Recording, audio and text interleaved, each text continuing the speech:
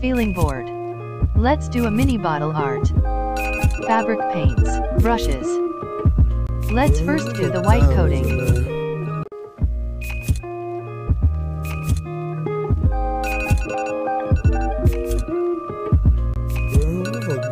Filling it with yellow.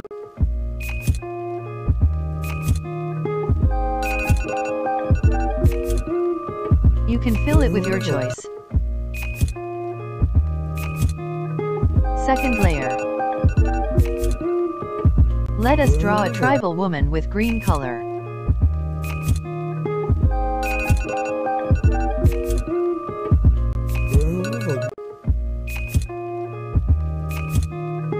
Some dotting designs on the other side. I am so excited. Done.